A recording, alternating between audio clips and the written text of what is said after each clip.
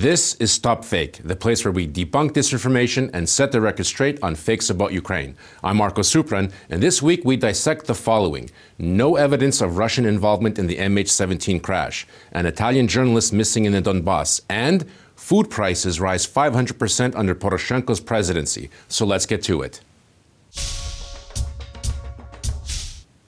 Russian propagandist media are once again circulating new fakes about Malaysian Airlines flight MH17, which was shot down over Russian separatist controlled eastern Ukraine in July 2014, killing all passengers and crew on board. This time, Russia's Deputy Prosecutor General Nikolai Vinnichenko told the pro Kremlin news service RIA Novosti that, quote, no evidence of Russian involvement in the MH17 tragedy has been provided. Now, international investigations conducted over the past years have repeatedly concluded that the plane was shot down by by a Russian Buk missile, most likely fired by regular Russian military or Moscow trained separatists. In a May 25, 2018 statement, the governments of the Netherlands and Australia called on Russia to accept responsibility for the downing of MH 17 as their involvement had been proven. Quote, the Netherlands and Australia are now convinced that Russia is responsible for the deployment of the Buk installation that was used to down MH 17.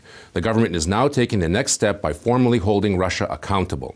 The governments of both countries referred to the Joint Investigative Team report comprising authorities from Australia, Belgium, Malaysia, the Netherlands, and Ukraine about the crash, which concludes that the missile that shot down MH 17 came from Russia's 53rd Aircraft Missile Brigade based in Kursk. The investigative journalist organization Bellingcat traced the serial number of the Buk missile to show that it belonged to the Kursk Brigade arsenal. The U.S. State Department and British intelligence have confirmed the findings of the Joint Investigative Team and Bellingcat. In its 2016 2017 annual report, the British Parliamentary Intelligence and Security Committee unequivocally asserts on page 52 that Russia's huge propaganda effort to persuade the world it did not shoot down the Malaysian airliner is an outright falsehood. Quote, we know beyond any reasonable doubt that the Russian military supplied and subsequently recovered the missile launcher which destroyed the airliner, the report reads. Using sophisticated digital technologies to analyze open source audio, visual data, and recordings, Bellingcat says that it has conclusively identified the Russian officers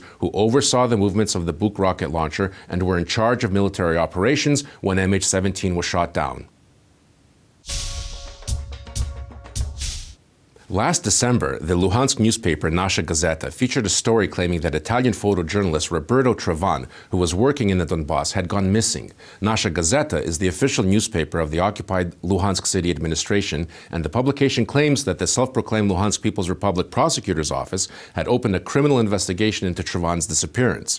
Various fake claims were spread that Travan was always accompanied by Ukrainian security forces and had complained that they did not let him work, and that he was kidnapped because he was photographing things the Ukrainian army wanted to hide, and even that drunk Ukrainian soldiers killed him on New Year's Eve.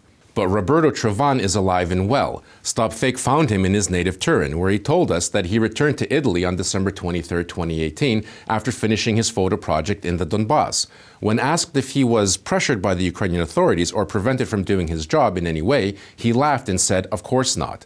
Travan has been to Ukraine several times to document the Maidan Revolution and the war in the East. He was embedded with the Italian army in Kosovo and Afghanistan and is currently following forgotten wars in frozen conflicts in Europe and Africa. Recently, one of Roberto Travan's photographs won the Tokyo International Photo Awards in the editorial conflict category. The last site depicts Ukrainian gunner and senior sergeant Serhiy Kopchenko, who was killed shortly after in April 2017 near Avdiivka. Travan dedicated the award to Kopchenko's memory.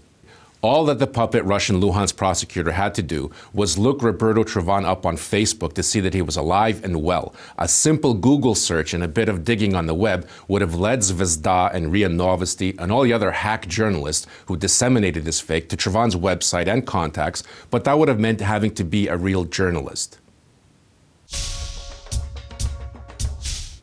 Several Russian and Ukrainian publications disseminated fakes this week claiming that under the presidency of Petro Poroshenko, food prices rose 500%. They all cite a Facebook post by the director of the Ukrainian Association of Retail Suppliers, Oleksiy Doroshenko. Doroshenko cites price increases provided by Ukraine's State Statistical Service, an organization that monitors prices and other economic indicators. His words, however, are taken completely out of context and distorted to create this fallacious claim. Doroshenko compares 2018 food prices to those of 2014 and notes that they have risen from 58% to 542%. Russian and Ukrainian media latched on to the 542% and ignored everything else that Doroshenko wrote. According to official figures, over the last four years, the only commodity that has gotten cheaper is buckwheat, whose price went down 6%. The prices for other foods rose from 58% to 542%. The market basket of 23 products, which cost 450 hryvnia in December 2014, cost 923 hryvnia on average in December 2018, an increase of 105%. Of all the foodstuffs that Mr. Doroshenko refers to in his post, the only grocery item that grew by more than 500% is onions whose price went from a bit over 3 hryvnia a kilo in 2014 to nearly 17 hryvnia in 2018. In today's conversion rates, that's an increase from 11 cents in 2014 to 61 cents in 2018 for a kilo of onions. Now, an honest report would also show whether or not wages increased during the same period and provide context. As an example, according to World Bank data for 2017, real wages increased by 19% due to the sharp increase in public sector wages.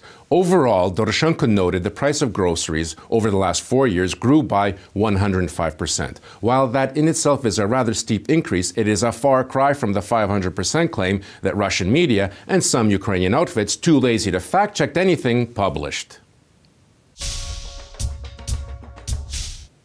That's it for this week. Our video digest only presents a small amount of the fakes we debunk every week. You can find much more dissected disinformation on the Stop Fake website.